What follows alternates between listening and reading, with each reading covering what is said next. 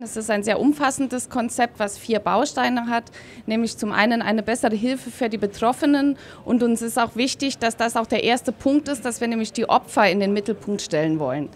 Wir wollen eine bessere Prävention. Es sind erschreckende Zahlen, wenn man sich vor Augen führt, dass pro Schulklasse oder pro Kindergartengruppe zwei bis drei betroffene Kinder da sind, dass zwei bis drei Kinder pro Schulklasse von sexuellem Missbrauch betroffen sind, der für das einzelne Kind ganz schlimme Folgen hat, psychische Folgen, die weit bis ins Erwachsenenalter hineinragen. Und deshalb ist es wichtig, dass wir jeden Fall vermeiden, den wir vermeiden können. Das Konzept ist sehr umfassend und es unterscheidet sich ganz klar von dem, was die Familienministerin vor wenigen Wochen als Konzept vorgelegt hat. Aber ein wirkliches Konzept muss weit darüber hinausgehen.